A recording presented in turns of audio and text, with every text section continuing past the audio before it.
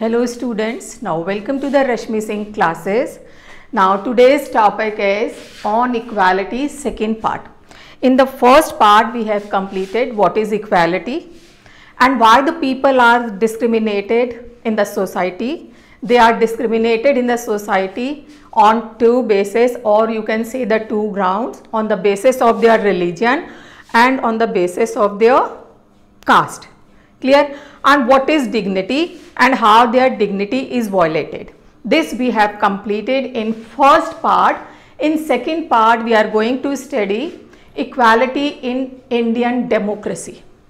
We are living in a democratic country and equality is a key feature of democracy. Means our country provides the right to equality to each and every person in the country but they provide only the political equality, not the social equality. But we cannot say the equality is exist only in democratic country. It exists from the ancient time. Ancient time say exist है because untouchables were treated unequally in our society. Untouchables they had to live outside the uh, villages they are not supposed to uh, take the water from the same well. Means they were discriminated. तो हम ये नहीं कह सकते कि सिर्फ़ आज ही या डेमोक्रेटिक कंट्री में डिस्क्रिमिनेशन होता है. But in democratic country we have सब certain rules to avoid all this democracy and in ancient time we don't have any rule तो our government tries to decrease the decrease the uh, position of inequality which is prevailed among in people. तो किस तरह हमारी government uh, इसको ख़त्म करने की या डिक्रीज करने की कोशिश कर रही है? By the two ways on the basis of implementing the laws और implementing some laws and programs तो व्हाट आर द लॉज जो इस इनइक्वालिटी uh, को ख़त्म करने के लिए हमारी गवर्नमेंट यूज़ कर रही है। ठीक है? Some provisions in our constitution are equal before the law equal before the law means everybody is equal in front of law either it is prime minister और प्रेसिडेंट ऑफ़ अ कंट्री और the Kanta Kanta की story हमने पहले पढ़ी थी। Kanta and prime minister और presidents all are equal in front of law so this is the first law Uh, and second, no one is discriminated on the basis of caste, religion and gender. We cannot stop anyone on the basis of discriminated on the basis of religion, caste and gender.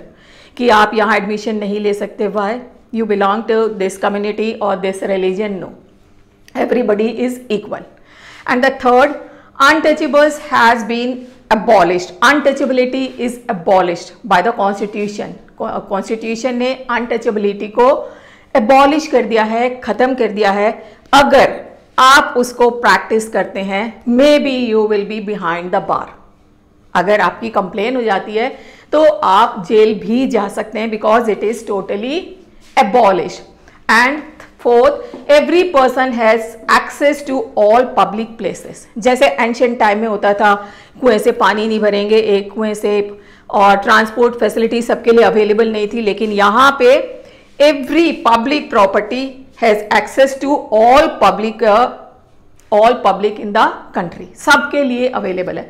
So these are on the basis of law these laws are implemented to reduce the gap between the rich and poor and second the by implementing the programs and schemes तो so many schemes are implemented by the government उसमें से जो एक सबसे important है that is mid day meal scheme mid day meal is introduced by the constitution and Tamil Nadu was the first state in 2001 Tamil Nadu introduce this mid day meal scheme in this state Tamil Nadu में. According to this scheme all government elementary schools will provide the cooked lunch to the students students को cooked lunch provide किया जाएगा।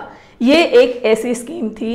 And after Supreme Court also advised all the state government to introduce this scheme in their state within six months. ये कहा कि छः महीने के अंदर अंदर आपको mid day meal scheme introduce करनी है in your own state clear तो धीरे धीरे धीरे धीरे सब स्टेट्स ने मिड डे मील स्कीम्स को इंट्रोड्यूस किया। And it has some positive effects इसके सम पॉजिटिव इफेक्ट्स जो सामने आए। कौन कौन से इफ़ेक्ट सामने आए?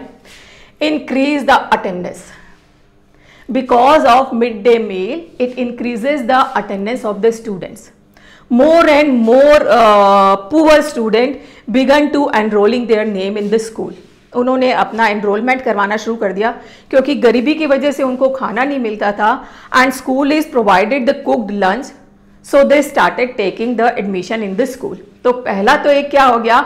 Increase in the attendance and second is reduce caste prejudice prejudice जो कास्ट प्रेजुडिस थे, उसको रिड्यूस करता था. कैसे? All students are the rich और poor they sit together and eat meal साथ साथ बैठ के खाना खाते थे। And generally the Dalit women's employed to cook the food जो दलित वीमेंस होती थी, वो खाना बनाने के लिए रखते थे। तो रिड्यूस कास्ट प्रेजुडिस तो इससे हमें फ़ायदा हुआ। ठीक है? समझ में आ गया इतना सब आपको? बेटा, आपको अगर समझ में आ रहा है then you like the you like and subscribe the channel क्योंकि आप समझते भी नहीं हो सब्सक्राइब भी नहीं करते हो, और दूसरी बात, मुझे कमेंट बॉक्स में बताते भी नहीं हो कि आपको समझ में आ रहा है कि नहीं आ रहा। ठीक है? Now will take example of our country we are talking about the Indian democracy Indian democracy the government tries a lot to reduce the gap between the rich and poor but still some schools are in the country where the lower community students are still discriminated जो like Om Prakash Valmiki type जो uh, बच्चे हुआ करते हैं, उनका अभी भी equality वाला स्टेटस नहीं दिया जा रहा है।